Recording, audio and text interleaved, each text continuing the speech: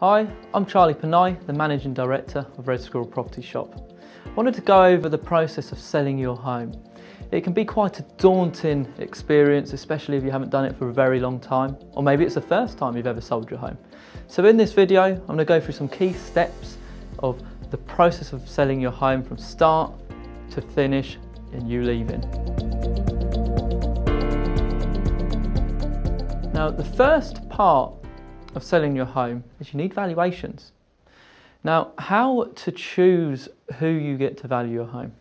Very, very important this part. Make sure that you do your research on the companies you're inviting out. My advice, make sure you get two or three companies out. Now you might be asking, why is Charlie from Red Squirrel telling me to get two or three estate agents out? Well, it's really important because every single estate agent works in a very different way.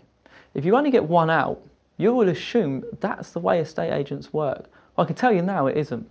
We all work in different ways. So it's important to get two or three because then you get an understanding of how they work and importantly, the variation of valuations. Because I, you will see, you'll get low valuations, you get high. There'll be a range. And from there, you can try and make an informed decision as to what you believe you'll get from your home. So you've had your two or three valuations, now you need to choose your estate agent. This is really important. Don't get pressured into making a decision.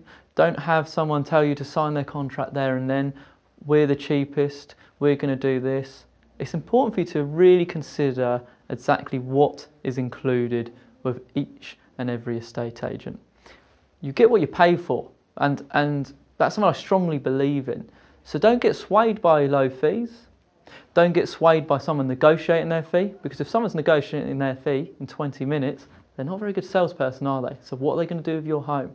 So, really establish the values of that company.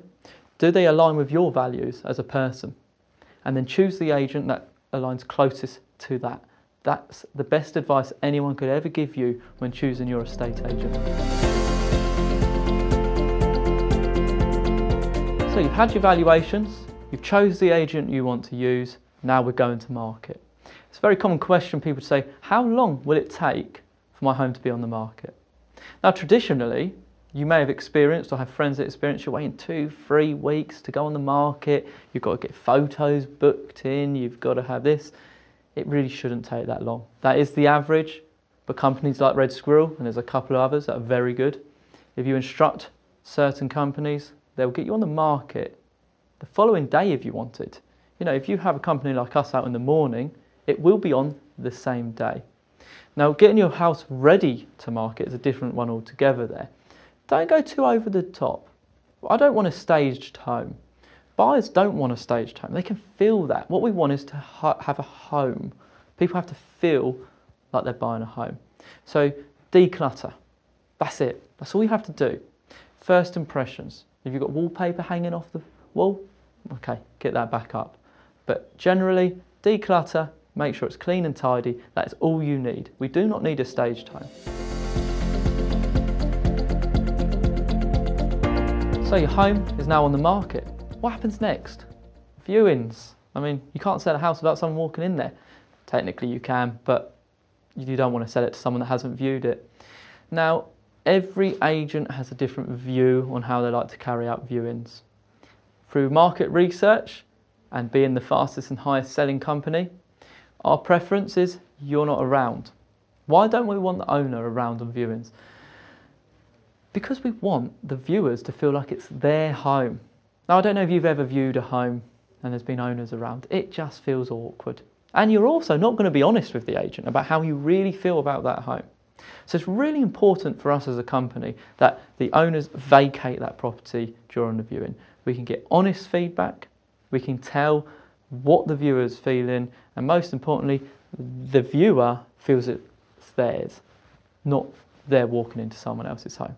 So viewings, they averagely take around 20 minutes, give or take. By all means, we do viewings sometimes that last for an hour and they never offer. We do viewings that last two minutes and they offer full asking price. There's no consistency, but the average is 20 minutes. So go for a walk, go for a drive. If it's raining, sit in the car and go for a drive. whatever you want, just don't be in that property during that viewing. It will affect the sale of your home. And you should never have an agent phone you and ask you to do the viewing for them. What are you paying them for? So you've had your viewings, someone's offered, you're happy with that offer, you accept it. It's as simple as that in terms of accepting an offer. You just say you accept it. The process from accepting to completing can be timely. You've got to be patient. It averages around 10, maybe up to 12 weeks. And there's a lot of stress that's going to come. Again, if you use a, a good estate agent that you trust and they align with your values, you'll have a less stressful time because they'll try and alleviate that throughout the process. However, you will have a lot of paperwork to do, a lot of inquiries to answer. My best advice to you is deal with them instantly. Don't sit there and think, I'm going to get round to that, because then you aggravate a buyer, the solicitors get slowed down, and you could come to a halt. So deal with it as soon as you get it. Uh, this process, like I said already, takes a little bit of time. However, you will get to exchange. Now, what does exchange mean? Well, exchange, you're exchanging legally to complete on your home. This typically, at the moment, averages around five working days between exchange and completion. This is completely flexible. You can have a four weeks between, two months if you wanted, or simultaneous, that you exchange and complete on the same day. That is your choice. It's a decision that you and the buyers will come to via the estate agents during the process. It's keen to get those expectations set when you agree though, so you don't get 10 weeks down the line and then suddenly you've got different plans. Once you complete, you can collect your keys, pick up your furniture and move into your new home. It's as simple as that. I'm Charlie from Red Squirrel Property Shop. If you want any further advice with selling your home, please feel free to give us a call and we're more than happy to offer any advice, absolutely no obligation.